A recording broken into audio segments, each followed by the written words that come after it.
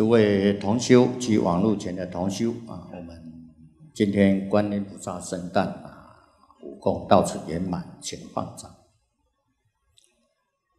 啊，这个啊，刚才啊也跟大家报告啊，这个悟道啊接这个社团法人中华民国观音佛学会二十年了啊，今年二十年。那我们第一次啊办一个简单的法会啊，啊，这个也是尝试啊，因为平常啊我们敬宗啊啊都是以打佛七为主啊，打佛七为主。那么这个啊，其他活菩萨的圣诞啊，我们就在镜中啊，就很少举办啊。那么现在我们哦敬老和尚啊，在国际上啊，提倡这个多元宗教、多元文化啊，所以以前在早年在新加坡、印尼、马来西亚。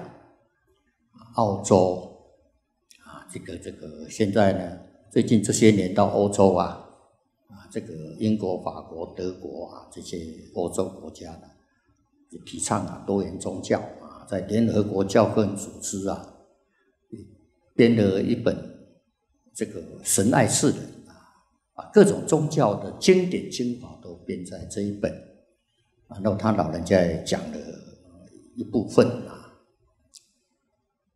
那么，哦，其他的哦宗教活动啊，啊，那么我们敬老和尚也有去参与，啊，这个伊斯兰教的、天主教的、基督教的、道教的啊，甚至这个印度啊，啊，它有在新加坡还有新都教啊，印度的拜火教啊，啊等等，在新加坡现在以前是九大宗教，现在是听说。现在又多了一个十大宗教了，啊，这个是在他们政府啊合法一个宗教的啊，所以也参加了很多这个宗教的庆典。那么我们佛门哦，这个敬宗都去参加其他宗教的庆典，像在图姆巴，他们也过圣诞节呀，啊，叮叮当，叮叮当，那个在过那个。那现在呢？如果我们佛教其他菩萨的节日，反而我们敬宗也不来一下，人家佛教界也会觉得很奇怪嘛？大家说是是不是？啊，会不会这种感觉啊？会有啊，我们没有感觉了，我们佛教界都有感觉啊，所以我们还是要注意这一块啊。诶，这个这个这个就是我们要。去补充的地方了啊，所以啊，你看现在佛教会啊，呃，他们有办活动，我们我都会参与，我自己没有空也会派人去参与。啊，下个月他们要办佛诞节啊，我没有空，我请庄贤法师代表啊，我们去去打斋去捐钱啊。那佛教会啊，我们照这个常理讲，我们也应该要尊重嘛。啊你自己佛教你就不尊重了，那啊这个人家也会觉得很奇怪嘛啊，所以这个像我们佛诞节也是要一个庆祝活动。那当然佛教的活菩萨节日非常多，我们当然没有办法说一个一个都来办这个庆祝活动，但是也都有列出来。那么一般有一些。比较一般传统的寺院啊，他们也都有办。像再过两天，我看那个日历上写的普贤菩萨圣诞哦，那文殊普贤呐，那也是这个敬宗啊啊关系很大的啊。那这个就算各地方的因缘了啊，各地方的因缘啊。那我们有因缘，就是大家啊这个来。啊，办一点简单的啊活动啊，啊，如果没有时间呐，那我们也知道啊，有这个节日啊，知道这个节日，那这个是我们大家要一个理解啊，大家一个理解。啊，所以这个在印光大师文钞精华录啊里面呐，呃，印光祖师是我们净宗十三祖，他是一生提倡念佛求生净土，但他有一方面呐，也劝同修兼念观音啊，叫做救苦救难呐，你有急难啊，像释迦牟尼佛在无量寿经，在观无量寿经讲的啊，就是特别有灾难的时候啊，多念观音。那么当时当然有很多跟随印光祖师的念佛莲友啊，他就有疑问啦。那师傅，你不是都叫我们念佛求生净土吗？那现在为什么有急难的时候要劝我们念观音菩萨呢？难道我们念阿弥陀佛，阿弥陀就不慈悲了吗？就不来救我们了吗？大家会不会有这个疑问？我想这个疑问大家都有啊，不是只有印光祖师在大陆那些同修有这个疑问。我们现在啊这样听看到祖师这么提倡，你会不会有疑问？你会有疑问呢？啊，那么祖师就回答了啊，就是说这个啊，如果你一心念佛，当然念佛都能成佛了，他还不能帮你消灾解难吗？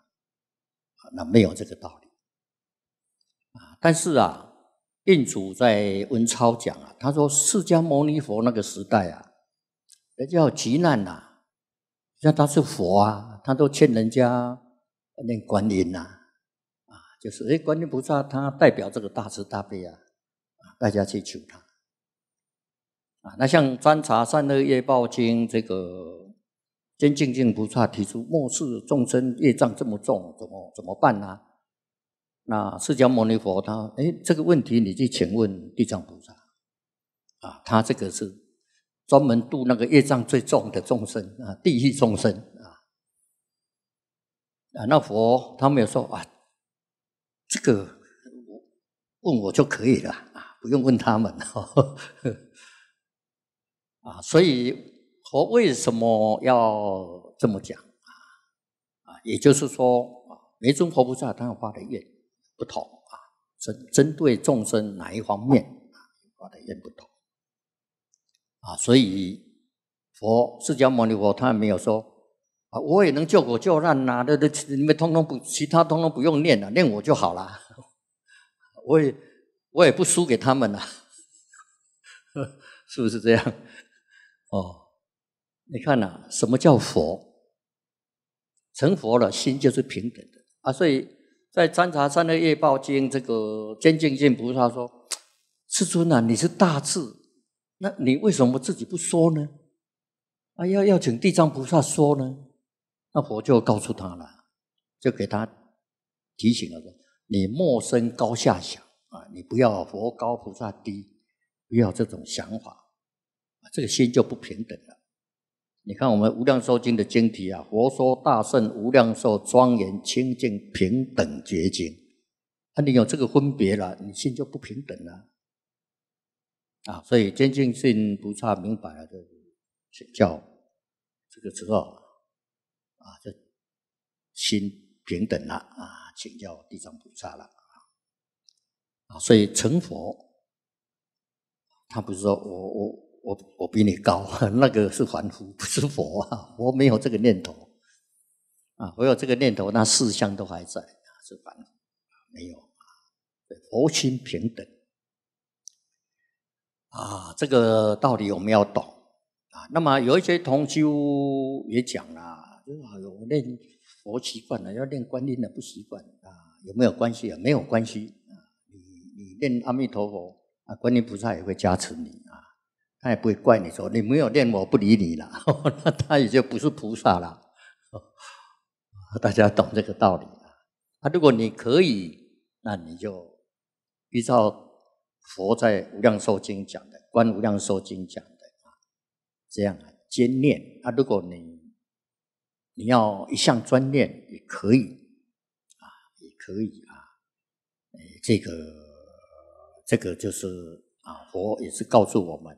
这一方面的，那么特别就是说，我们自己以外啊，还有一些自己的家属啦、亲友啦，一些还没有学佛的啊，甚至学佛他还没有真正在修净净土法门的这些大众，那么劝他们念观音，一般比较容易接受。啊。一般呐，你劝他念阿弥陀佛，他不知道什么意思。啊，他会认为说那个就是快往生的人在念的啊。以前呐，我在家的时候啊。我父亲他就这样，我去听经啦，听老和尚讲净土经典。那个时候早期念佛机刚出来，我就买买了一部回去放啊。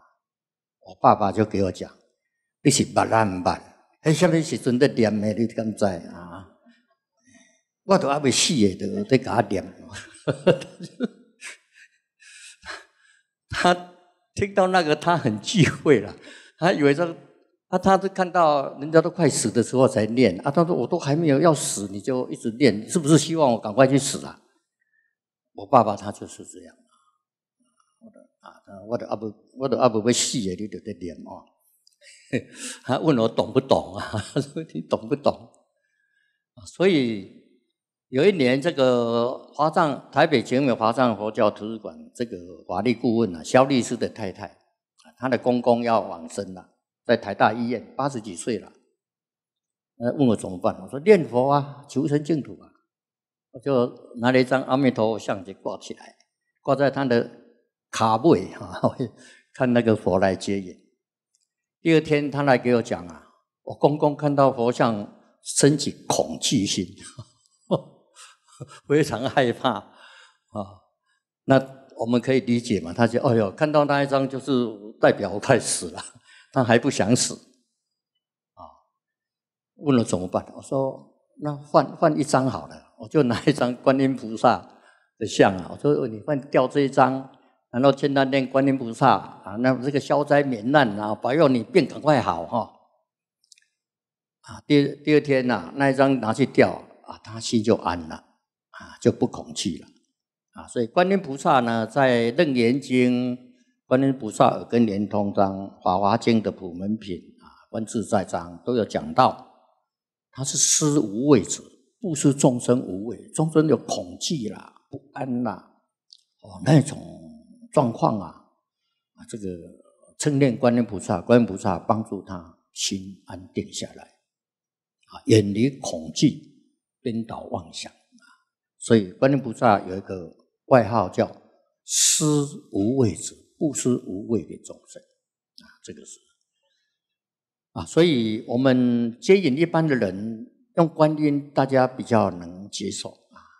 他还不了解念佛的功德利益啊，那用观音先接引嘛，那接引进来，再再他明了了，他念佛他就不怕了嘛，知道念佛的好处啊，也是一个方便啊。那么这个都在个人了啊，个人。啊，所以这个呃，观音菩萨呢，他是阿弥陀佛的助手，我们可以理解。啊，你看啊，有一些人他们，他他先把他接引入佛门呐，啊，然后慢慢再引导他来修净土，回归到净土，啊，他就不怕了。这个所以为什么要西方三圣？啊，这个佛也需要助手啊，需要助手。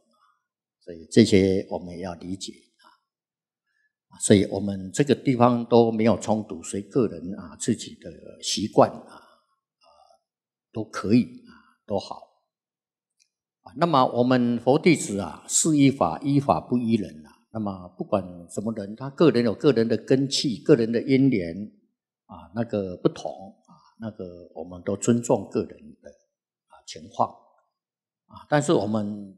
总的方向，还是要依经典。哎，经典佛有这么讲嘛？那我们不能总不能去反对佛嘛，跟佛抬杠 啊，这个这个就不对了啊。所以这这些道理啊，我们都要明了啊啊，都要明了 啊。这是啊，我们这个庆祝观音菩萨圣诞啊，为什么观音菩萨呢？啊令你什么身得度，他就现什么身而为说法啊！所以现身为什么现身？现身就是说法啊。那说法啊，有三轮的说法，身身轮说法，这个身体动作的说法，啊，手势啊，这个手印也是在说法，啊，现在叫手语，那也在说法，口。啊，这个口轮说法，啊啊，意呀，观想意轮说法。啊，你要想怎么样去帮助众生，一轮说法。啊，所以这个三轮都说法，所以说法才不才会从迷信导入正信。啊，从正信再导入深信，从深信再导入真信。啊，所以这个信也有四个阶段哦。啊，那你不明了的时候啊，我们就信了，这个叫迷信。啊迷信当然是最多了，但是众生呐，啊，好像你一下子跟他用正信去导入，好像不太容易啊，所以方便啊接引，从迷信进来。那么从迷信进来了，到后面会引导他入正信、深信、真信啊，因为他迷的对象。是觉悟的，觉是破迷的啊！如果他迷的对象也是也是迷，那迷上就加迷了！但是他迷信佛法也很好啊啊！因为佛是觉悟嘛啊，他会引导你从迷到觉嘛。因为你迷的对象他是觉，他不迷呀，是我们迷呀，我不迷呀。啊，佛是印度化了，翻成中文的意思是觉悟智慧的意思嘛？觉就是要破除迷的嘛。所以这个道理我们要懂啊，那就没有迷信了，就是正信啦，正确的信仰啦。所以说法啊，观音菩萨大家念普门品很多啊，但是了解的人不多。说法是什么？说是什么？说明嘛。我们现在讲开说明会啊，说啊，法是什么？理论方法嘛，把这个修学的理论方法给我们说明。观菩萨现身是说明啊，我们修学的理论方法，教我们怎么修怎么学。你要做什么，我跟你说什么话；你要当医生，跟你说做医生的法。你要办政治，给你说办政治的法；你要做生意，给你做生意的法。还哪有迷信啊？没有啊。但是你不说法，那当然就变成迷信了。那迷信也也也也很好，反正他愿意来拜啊，总有一天会让他明白啊，他就变迷信，走入正信了。啊，所以这个观音菩萨，你看呐。这个在台北市这个办这个观音的啊主主要的庙啊，万华龙山寺啊主供的就观音啊观音啊那那个龙山寺也是很热闹的啊。那现在我们台北县啊，现在台新北市啊啊，我知道林口竹林寺哦，那那一间也是很古老了啊，大概。也也跟万华龙山寺差不多啊，都是清朝时代的啊啊。那我我的俗家家乡戏子有一个观音庙，那个比较小啊。那二月十九、六月十九、九月十九晚上通宵啊，大家都上去拜啊，拜观音啊。那么以前呐，那个观音庙啊，是在家人在那边管理，啊，那那个当地啊，啊，事后那边的的一些。当地的居民啊，他们去拜的。我说那个观音菩萨很灵感。第二次世界大战啊，盟军来轰炸，观音菩萨的化作一个女子，用那个裙子啊去接炸弹，炸弹就不会爆炸。所以大家都去拜了。啊，这个啊，所以香火很兴盛。庙是小，但是香火很兴盛。啊，但是呢，他们当地的居民呐，不是拜树的。啊，什么鸡鸭鱼肉啦，啊，囡仔做满月啦，什么什么马有救啊，什么鸡通通上去了，都拜昏的啦，跟一般拜神一样。啊，他们不懂啊，啊，他们不懂。听我外婆讲，那个秀兰啊，啊，那个那个他的朋友啊，去出家了，然后人家请他去那边当主子，那个时候还改成出世的啦，因为他们不懂嘛，啊，他们也是一片的诚意了。啊，所以像鹿港龙山寺，那只是更久啊，那三百多年啊，鹿港龙山寺啊，啊，万家龙山寺啊，这个鹿港龙山，所以这个在台湾这个观音庙很多了啊。那么在大陆呢，普陀山是观音庙的主庭嘛，啊，在那边示现啊，普陀山琉璃世界啊，就在那边啊。四大菩萨，那观音菩萨在浙江省舟山啊寺啊，这个观音菩萨的道场那么那个观音菩萨的道场是啊，在唐朝时代啊，日本的和尚啊来山西五台山呐学习，那么他偷偷的请一尊观音像啊，要回日本，走到舟山那个地方啊。海上啊，出了很多铁莲花，那个船不能过去，他就知道了，可能观音菩萨要留在这里，所以在附近呢，在那个岛登陆，啊，在边盖个小庙，就把观音供在那边，啊，后来他回去了，啊，他船才能走，啊，所以现在呢，有去普陀山朝山呐，你就有一个地方叫不肯去观音。啊，所以那个普陀山那个道场那个因缘是这样啊成立的。啊，是那个日本和尚啊去五台山请一尊观音像，啊，请回去日本，走到那边了，船不能走了，所以留下来，后来形成就是他知道菩萨要在这个地方，啊，要在这个地方示现。啊，那菩萨呢，也不是没有去日本世界，就是在也是在渔村。你看舟山都是渔村啊，抓鱼的。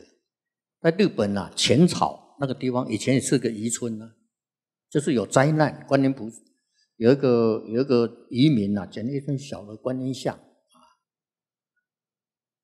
那个地方啊，是成立现在那个东京浅草观音。啊，所以我每次到东京去，我都会去拜观音菩萨。啊，那个东京浅草观音哦，那平不要说节日了，平常就人山人海，这个国际的观光旅游啊，重点呐，啊，那年轻人特别多啊，那日本的学生啊，很多去拜观音啊，我看的也也也很好啊，反正他迷信，反正他愿意来拜，都跟他结缘种善根。呃，日本的学老师啊，都会带高中的学生啊，中学的学生、小学的学生啊，有男生有女生啊。那我看到那个学生呢，他们上那个香啊，在外面香炉插那个香，他是一束的插的香。啊，他们日本人都是啊，那个香烟起来的呢，烟啊，那跟个拨来拨来辛苦啊，把它拨过来。啊，那我去上香啊，我就学他们这样把它拨过来，加持加持。那么日本人呐，信得比我们迷耶。观音地藏他们拜的很多，阿弥陀佛也很多了啊，净土宗的啊，各宗各派都有。他说中国学过去，全部保留下来。那个地藏菩萨，有尊地藏地藏菩萨呢，被摸得全身亮晶晶的。我说为什么？他说你头痛啊，其实摸他的头，你头痛就好了。啊，你脚痛了，去摸他的脚，那脚就好了啊。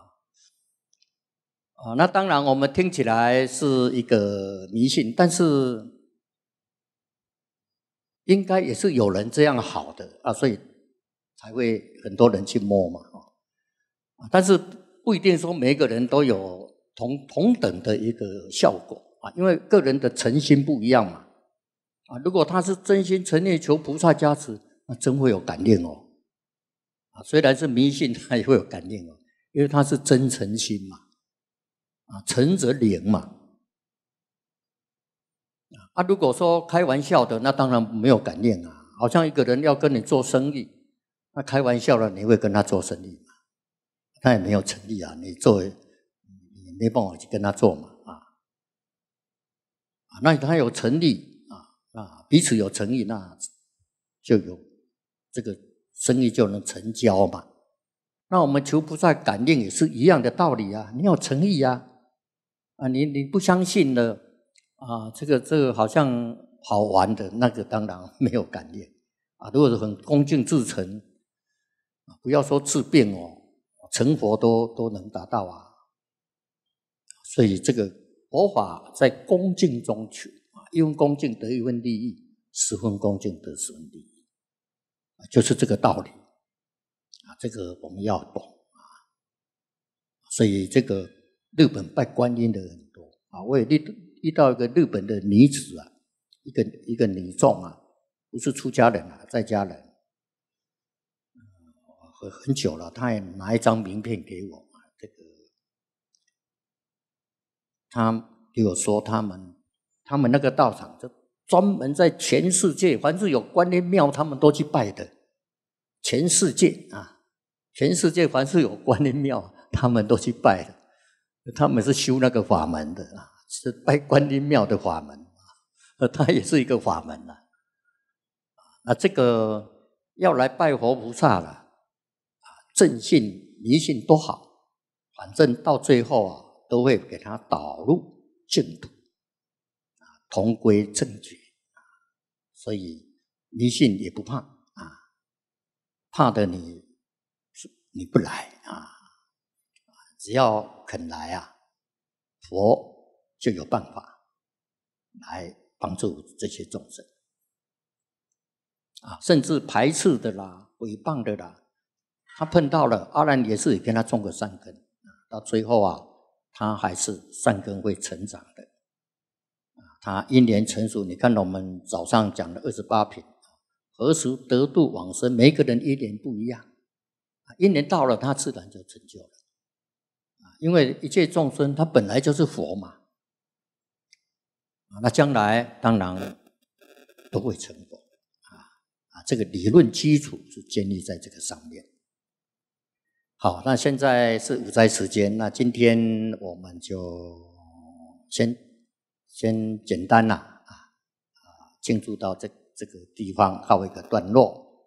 那么下一次啊，六月十九、九月十九，我们再研究了，再再来做一个一个一个仪式啊啊，祝大家啊，观音菩萨圣诞快乐，法喜充满。